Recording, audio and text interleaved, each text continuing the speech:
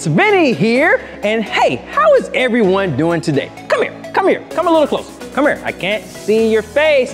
Whoa, whoa, that's a little too close. Did you brush your teeth? Ooh. Well, I brought all these peeps here to share with you, but since we're still doing this me here and you there kind of thing, I guess I'll have to just add eating peeps to my homeschool assignments. I'll save these for later. All right, so Friends, it's April and this month is going to be epic because we are going to talk about the most amazing thing that has ever happened in the history of ever. I mean, honestly, I can't remember everything I was supposed to learn in history, but I do know that this is a big deal. We are talking about Easter and what Jesus did for all of us because he loves us so much. And speaking of loving things so much, I thought that we could play a game to get to know each other a little more. Like, what do you like? What do you love? And would you rather have boogers for teeth or teeth for boogers? You know, the important stuff. We are going to play our always disgusting, always hilarious, always fun game of Would You Rather? In just a minute, I am going to ask you a Would You Rather question. You are going to point to the left side of the screen if you would rather do what's on the left side, or point to the right side of the screen if you would rather do what's on the right. Got it? So, if I ask you, would you rather have boogers for teeth, you would point to the left side of the screen. Or if I ask you, would you rather have teeth for boogers, you would point to the right side of the screen. You're smart cookies. Come on, let's play. First question. Would you rather swim in a pool of toenail clippings or swim in a pool full of used band-aids? Whew! Point over here to the left if you would rather swim with toenails or point over here if you would like to backstroke in band-aids. Let's go, let's go. What you got? Ah, All right, let's move on to a food category because, hey, when am I not thinking about food? Would you rather eat the lint from the dryer or drink the water from the washer? Woo, that's not quite the food that I was thinking about. All right, here we go. Point here for all my lint lovers and point here for my washer water drinker lovers. Whew, there's not enough peace in the world to get me to drink the water that my gym socks have been soaking in for at least a month. All right, I think I would eat the lint. I mean, at least it's from cleanish clothes, right? Mm-hmm. All right, now let's get real with each other. Who has been wearing the same thing for several days in a row? I mean, honestly, I've had these clothes on for three straight weeks. Who has worn PJs all day only to change into new PJs before bed? Raise your hand. Okay, here we go. Well then, would you rather wear the exact same thing every day, but you get to choose, or wear something different every day, but your parents get to choose? point here if you would rather wear the same thing every day, or point here if you would let your parents pick out your clothes. All right, uh, uh, okay, here we go. so, We've all had some extra time at home, which means we probably have been doing some extra chores. So, would you rather eat what is collected in a vacuum cleaner or drink what's in the bathtub drain?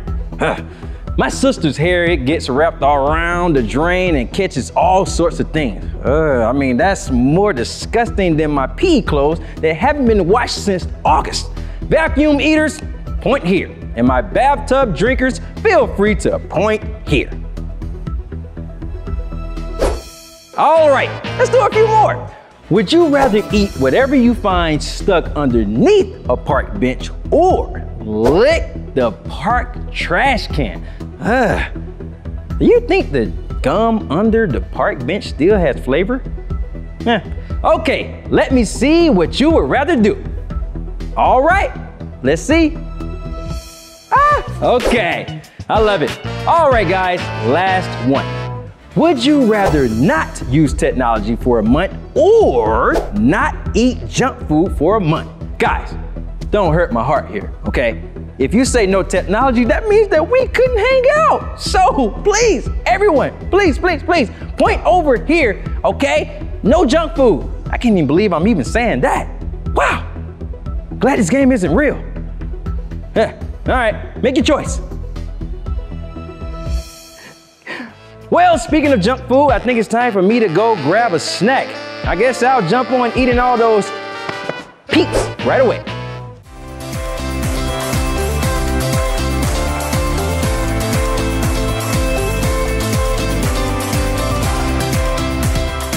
Hey guys, I'm Keela, and this month on Upstreet, we're talking about Easter and the days that lead up to it. Like, did you know that one of the last things Jesus did was plan a dinner for his friends? It's true. So, I don't know about you, but when I have friends over, I like to make it a party. Like, what do you guys like to do when you have friends over? Do you have decorations? You know, maybe some music? Mm, mm, mm. Yeah, that's good. But you know what? It all comes down to the big question. What are you going to eat? You know what? And I'm not cooking tonight. So pizza it is. Let me just text in my order. You guys got a favorite pizza place? How many of you guys like Papa John's? You know, they have those little cinnamon things, or some of you guys probably like Domino's, but let's be honest, all of us have probably been eating a lot of frozen pizza at home lately, right? Did someone order a pizza? Oh, Vinny, I didn't know you delivered pizza. Oh, I'm a man of many talents, but Italian accent is not one of them. Oh, but I do love pizza, yes indeed. Oh, uh, do you want a piece? Yes, yes, yes, Sure. thank you, thank you, thank you, thank you. Mmm, oh, this is so good. Oh, oh yeah. Have a great party. Thank you. Glad you enjoyed it. Well, okay, so this is how I would set up a dinner, but you know, Jesus actually did the same thing. Okay, there wasn't pizza there, but Jesus invited his best friends to come around a table and have dinner with him. He invited Andrew and John and Peter and James and all the guys who had been with him through it all. He wanted them all to come to dinner because he had something to tell them, something important. But first, he wanted to do something important. And I'm not kidding about this. Jesus wanted to wash their feet. Oh, y- nasty. Okay. You guys have never seen stinky, nasty feet like these guys had because all day, every day, all they did was walk around in the dirt. Think about it. Back then, there were no cars to carry you, no sidewalks to walk on, no Nike shoes to keep the dirt out. No, these guys wore these really thin sandals and walked around in dirt and dust all day. Nasty feet. Which is why back then, whenever you got to someone's house for dinner, a servant would come and kneel down and wash your feet. But tonight, Jesus didn't want the servant to do it. He wanted to do it. So as his friends arrived, Jesus got down on his knees with a towel and a bowl of water, and he began to wash his friends' feet. And his friends were like, uh, confused. Peter was like, Jesus, why are you washing our feet? But you tell me, by washing their feet, what was Jesus trying to show them? That he loved them, right? That he was going to take care of them, that they were important to him.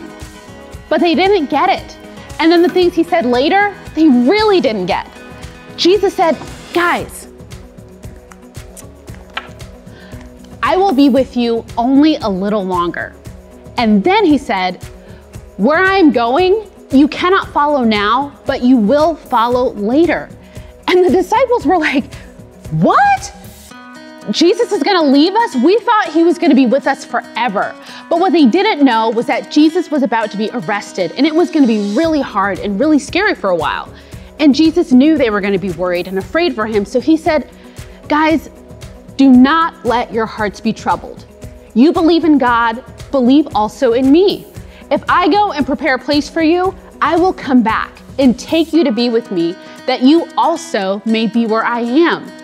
So basically, he was telling them, I love you, and I've got a plan. And Jesus did have a plan, and it was bigger and better than his friends could ever imagine. He was about to do something for all of us that nobody else could do. And that's what Easter is all about. But in that moment, at that dinner, Jesus wanted his friends to know they could trust him through everything that was about to happen. Why? Because Jesus loved them. And that's what we've got to remember too that Jesus loves me, and he does.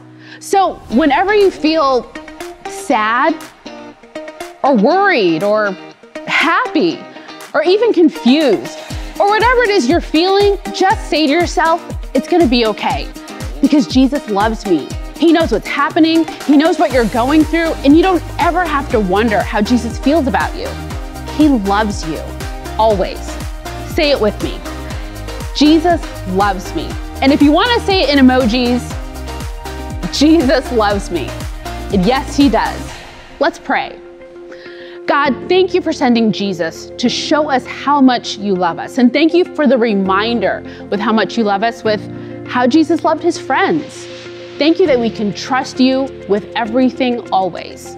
In Jesus' name, amen. So, you guys, the fun isn't over. Let's head over to small group with two of the best small group leaders I know, Philip and Alyssa.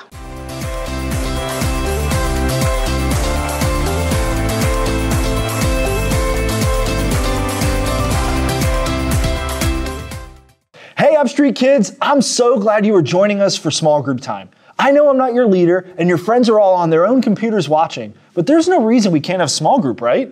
Totally. I'm so excited that we get to be together, even if it's over a screen. I'm Alyssa. And I'm Philip, and in the story we just heard, the disciples must have had so many different feelings. Let's talk about all the different feelings we have from time to time. But first, go grab a piece of paper and crayons or markers or whatever you're gonna write with, okay? So go ahead, we'll wait here. Go ahead, go get it.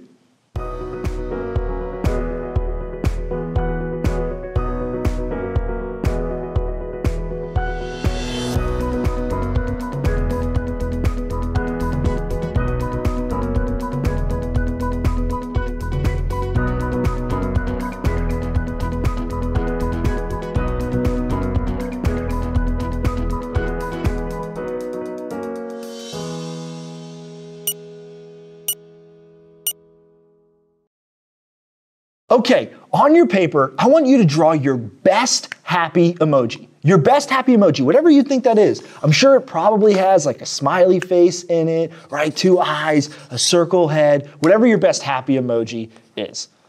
All right? Now that's looking good. Now go ahead and color that thing in. Go ahead and color it in with whatever color you want. All right? Now draw your best sad emoji. All right? Your best sad emoji. Give them some tears. Give him something that looks sad, your best sad emoji. All right? Now, let me see your worried emoji.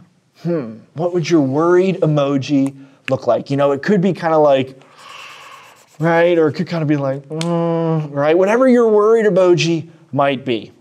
All right?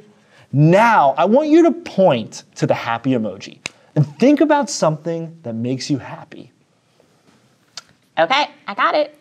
Now I want you to point to the sad emoji and think about something that makes you sad. Okay, I got it. But can we move on? I don't want to be sad. Yeah. Now I want you to point to the worried emoji and think about something that you could be worried about. Like worried that I'm going to run out of fun things to do at my house this week? that is right. Now take a look at all your emojis. No matter what you are feeling right now, we can remember that Jesus loves us. Yes, and He loves me, and Jesus loves you. No matter what we're going through, Jesus knows how we feel. He's always with us, and He loves us so much. So, whatever you may be feeling today, whether you're happy, sad, or worried, or whatever you're feeling tomorrow or next week, remember, Jesus loves you. Let's take a minute to pray together, all right? Dear God, thank you for sending Jesus. And no matter what we're going through and how we're feeling, He knows and He cares and He is with us. We love you, God. Amen. Okay, one more thing. There's a verse in the Bible written by a guy who was friends with Jesus that says, Greater love has no one than this, to lay down one's life for one's friend. John 15, 13. That's how much Jesus loves us. He gave his life for us. What a great verse. Let's go ahead and learn it together. All right. Greater love has no one than this to lay down one's life. I got it. I got Go, it. Phyllis. There we go. For one's friends. High five. High five through the camera. Awesome. John 15, 13. Oh, that was so great. Can we do it one more time, please? Yeah, let's do it. All right, one more time. Here we go. Okay. Greater love has no one than this to lay down one's life Showtime. for one's friends. High five. Yep. Nice. John 15, 13. That was awesome. See if you can teach someone in your family this verse today. And remember that Jesus loves you. He loves you so much. Have a great week. Bye.